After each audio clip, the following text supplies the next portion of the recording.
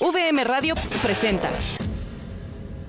Hola, ¿qué tal amigos? Bienvenidos a CNews. Yo soy Fernanda Mejía y como cada semana es un placer estar aquí con todos ustedes, brindándoles la mejor información. Hoy en What's Movie On, Luis nos hablará de Jurassic Park. Así es, vamos a revivir viejas emociones con uno de los clásicos de la ciencia ficción. En los datos interesantes les tengo preparada una cápsula sobre el Día Internacional de la Felicidad, así que no te la pierdas. En la sección de música, Val nos tiene las mejores recomendaciones y detalles de los lanzamientos de Justin Bieber, LP, Silvana Estrada y mucho más. En la banca, Rodrigo y Alfredo nos pondrán en contexto sobre las noticias más relevantes de los últimos días en los deportes. Y lo que no puede faltar, los memes de la semana. Así que sin más, vamos a comenzar. Hola, ¿qué tal amigos? Bienvenidos a una nueva... Yo soy Joana Wilson más relevantes que a ti te interesa. Jurassic Park se llevó tres premios Oscar por mejor edición de sonido, mejor sonido y mejores efectos especiales. El público la adoptó tan bien que se considera la película más vista de 1993. Pero vamos a escuchar lo que Luis nos tiene preparado acerca de esta producción. Yo soy Luis Rodríguez de What's Movie On para Zen News.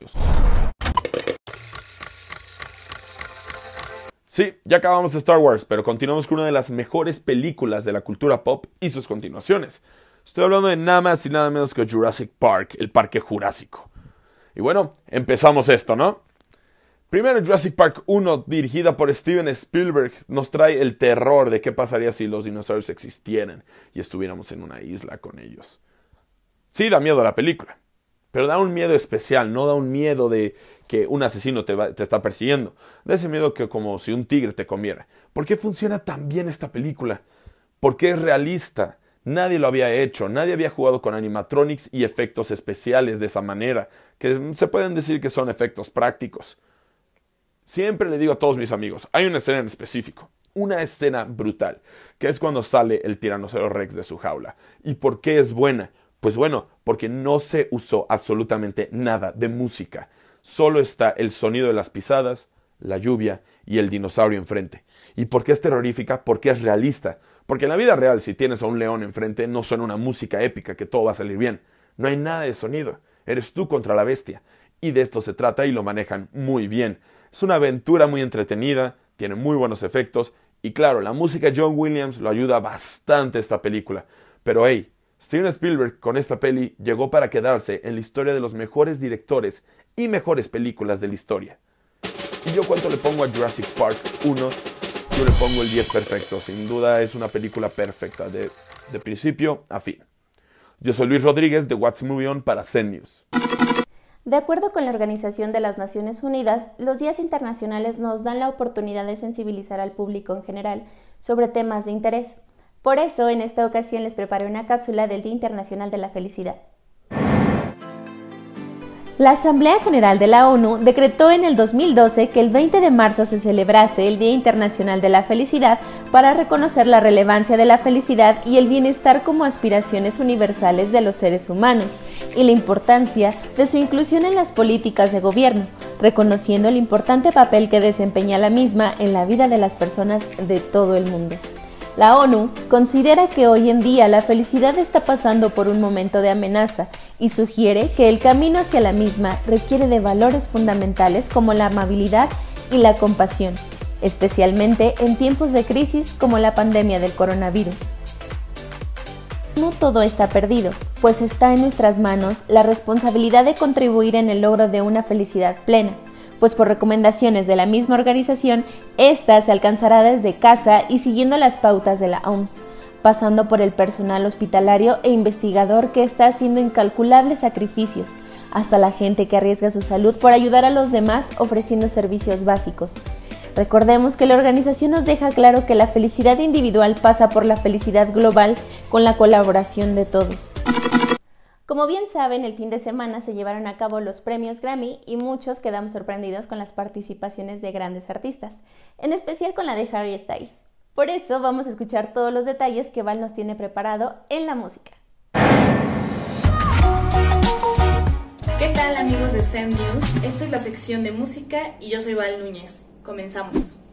Comenzamos con las canciones nominadas al Oscar 2021 como Mejor Canción Original.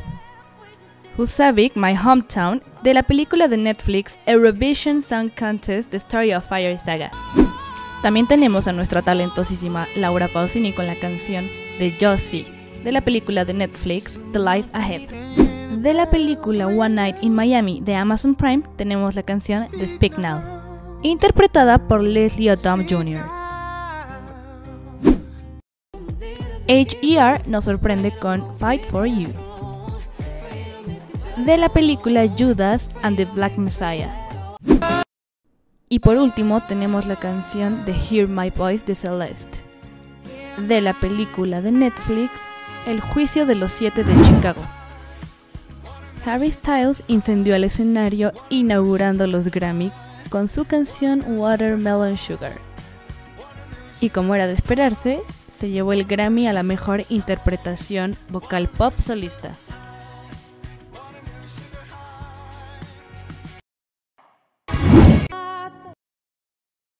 La cantautora Silvana Estrada se une a la lucha en contra de la violencia hacia la mujer con su emotiva canción Si me matan. Silvana decidió filmar este videoclip cantándole la canción a 14 mujeres diferentes en donde se nota la conexión y la sororidad.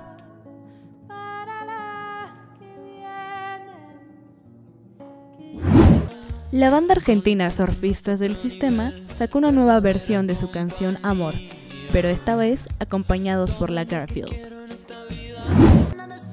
La cantautora LP regresa al mundo de la música con su nuevo videoclip y canción One Last Time. Se rumora que a finales del 2021 sacará su nuevo álbum a la luz. Y esto fue todo por hoy, espero lo hayan disfrutado tanto como yo y ya saben, buenas noticias y buena música solo aquí en Zen News. Todos los detalles del inicio de los ceses de los directores técnicos de la Liga MX y la agencia libre de la NFL los tienes aquí en la banca con Alfredo y Rodrigo. Así que vamos a escucharlos. Buenas tardes amigos de Zen News, mi nombre es Alfredo Ramírez. Y yo soy Rodrigo de Flon y bienvenidos a la banca. Hoy les tenemos noticias calentitas en la Liga MX, ya que comenzaron a rodar las cabezas de los directores técnicos. Así es, los Bravos decidieron seguir su camino sin el flaco Tena, y por otra parte el Necaxa decidió reemplazar al profe Cruz por otro entrenador ya probado en nuestro fútbol como lo es Memo Vázquez. Estos movimientos son evidentes, ya que ambos equipos son penúltimo y último lugar de la tabla general respectivamente, habiendo ganado solo tres partidos entre los dos. Estos movimientos nos hacen preguntarnos quién será el próximo. Andrés Lilini, ya que sus Pumas pedirían la hora en un partido contra los linces de la VM, o Víctor Manuel Bucetich, luego de que las Chivas fueran arrastradas el pasado fin de semana por su acérrimo rival, haciéndolos ver como un equipo amateur.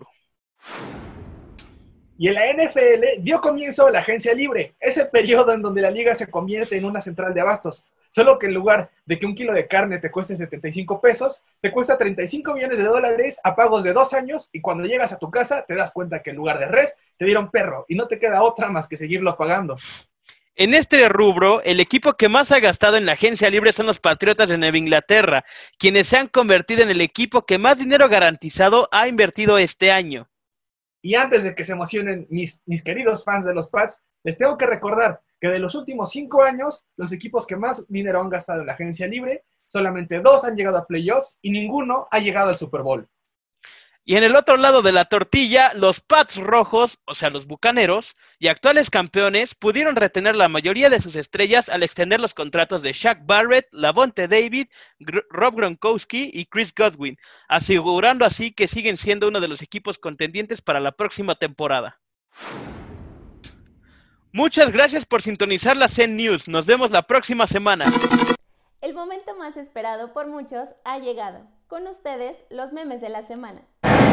Los memes de la semana.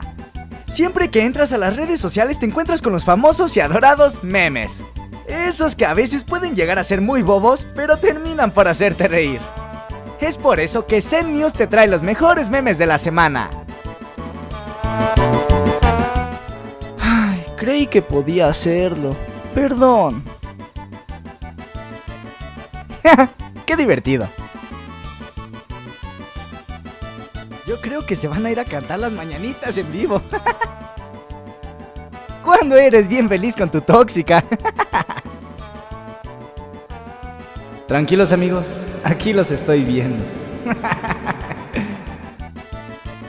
Pero siempre vistiendo ropa negra. Este no es meme, pero les dejo esta joyita. ¡Hey! Únete a nuestras redes sociales y diviértete con nosotros. Videos de calidad, originales y muy divertidos. Dale un vistazo, estoy seguro de que no te arrepentirás. Miles de personas saben de lo que hablo. Yo soy Axel Olarios y los esperamos por Eso ha sido todo por el CENIOS de hoy. Esperamos que haya sido de su agrado. No olviden seguirnos en nuestras redes sociales. Estamos en Facebook e Instagram como arroba VM Radio México y arroba VM Radio-México en Twitter. Ya saben que cualquier cosa, cualquier comentario, duda o sugerencia siempre será bien recibido. Pásenla muy bien, nos vemos la siguiente semana. Bye.